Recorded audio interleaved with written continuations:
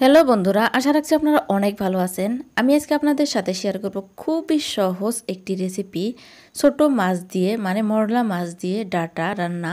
তো আশা রাখছি ভিডিওটি না কেটে সম্পূর্ণ দেখবেন। এখানে আমি একটি মোটা সাইজের ডাটা নিয়েছি, এটা বাড়ির ডাটা।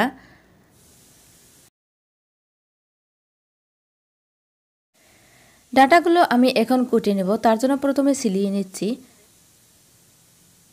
তো ভালো করে সিলিয়ে নিতে হবে, জানি কোনো রকমের আঁশ না থাকে, সেরকম করে নিয়ে নিতে হবে।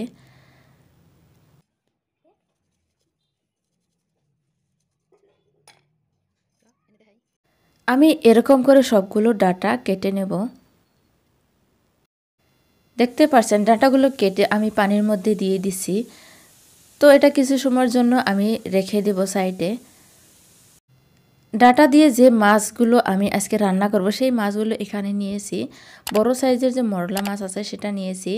দিয়ে দিলাম লবণ, হলুদ আর শুকনো মরিচের গুঁড়ো। এগুলো দিয়ে মাখিয়ে নিচ্ছি, ভেজে নেব সেই জন্য।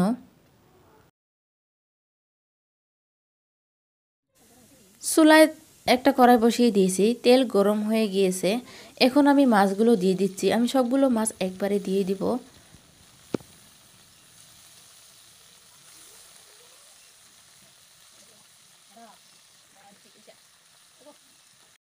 মাছগুলো আমি দু সাইড ভালো করে ভেজে নিয়েছি।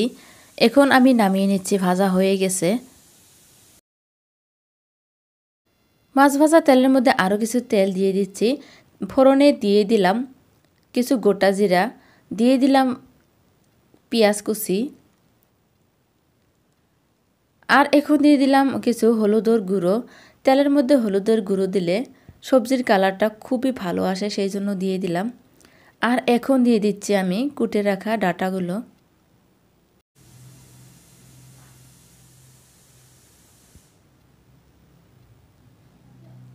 দিয়ে দিলাম পরিমাণ মতো শুকনো মরিচের গুঁড়ো, জিরার গুঁড়ো, ধনিয়ার গুঁড়ো।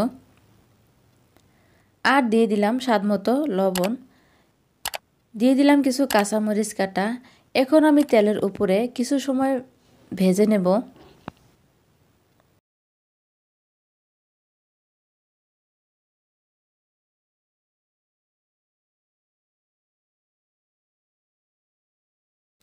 তেলের উপরে কিছুক্ষণ সময় আমি ভেজে নিয়েছি, দেখতে পারছেন? আমার সবজির কালারটা এরকম এসেছে। এখন দিয়ে দিচ্ছি আমি পানি সিদ্ধ হওয়ার জন্য। মানে সবজিটা হতে যে পরিমাণে পানি লাগবে সেই পরিমাণে দিয়ে দিচ্ছি।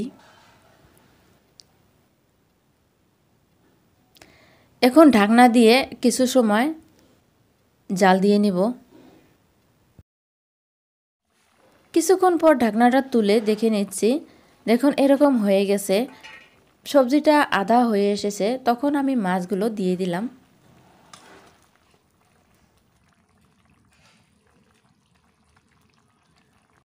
সবজিটা হয়ে গেছে।